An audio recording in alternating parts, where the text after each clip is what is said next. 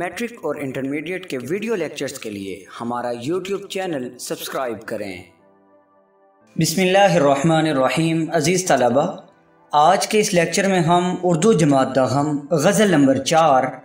ये फ़ख्र तो हासिल है, बुरे हैं कि भले हैं। इसके पहले दो अशार की तशीह समझने की कोशिश करेंगे। तो आइए बिला तखिर लेक्चर का बाकायदा आगाज़ करते हैं।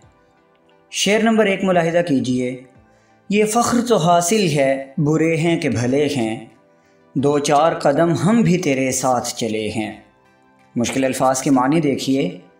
फ़ख्र, एज़ाज़, भले, अच्छे। इस शेर का मफहम कुछ इस तरह होगा कि कता नज़र इससे कि हम अच्छे हैं या बुरे। हमें ये फ़ख्र हासिल है कि हम अपने महबूब के साथ दो कदम मिला कर चले हैं। आइए अब इस शेर की तशीह करते हैं। अज़ीज़ तलबा, उर्दू शायरी में ये एक अजीब सी रिवायत है कि महबूब को इंतहाई ऊँचा मकाम हासिल है।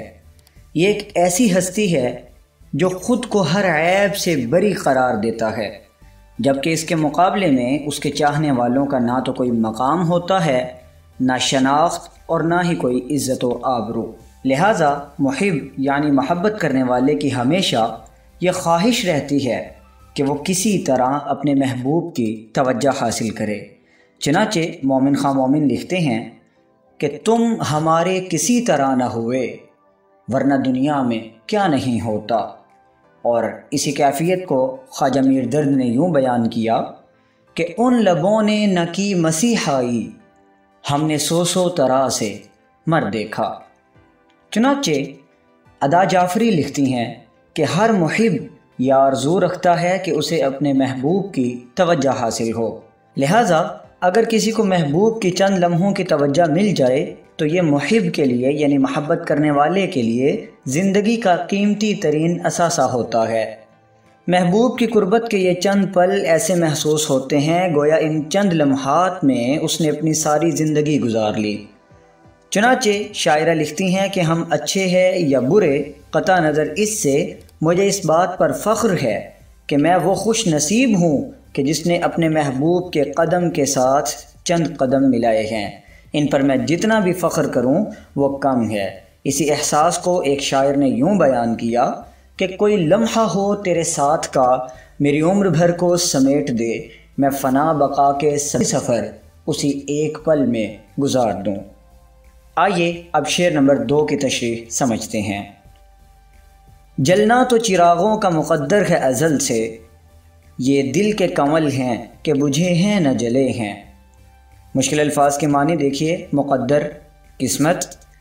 अज़ल, कायनात का पहला दिन, और कमल, फूल, और दिल के कमल से मुराद है, दिल के छाले, दिल के ज़ख्म या दाग इस शेर का मफहम कुछ इस तरह होगा कि चिरागों के मुकद्दर में शुरू से ही जलना लिखा गया है। मगर मेरे दिल के कंवल पूरी तरह जलते हैं और ना बुझते हैं। आइए अब इस शेर की तशीह समझते हैं। अज़ीज़ तलबा, जब से ये कायनात वजूद में आई है, उसी वक्त से चिराग जल रहे हैं।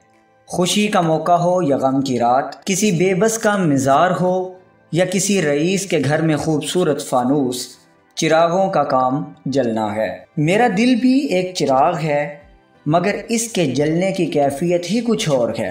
मेरे महबूब को जुदा हुए एक मुद्दत गुजर चुकी है। एक तरफ़ तो उसके ना लौटने से दिल पर मायूसी छा चुकी है और मोहब्बत की आग ठंडी पड़ रही है, मगर दूसरी जानब एक मुद्दत गुजर जाने के बावजूद उसकी यादें दिल में आग लगाती रहती हैं। चिराग या तो जलता है या बुझ जाता है, मगर दिल के चिराग की हालत यह है कि ना तो पूरी तरह जल रहा है और ना पूरी तरह बुझ रहा है।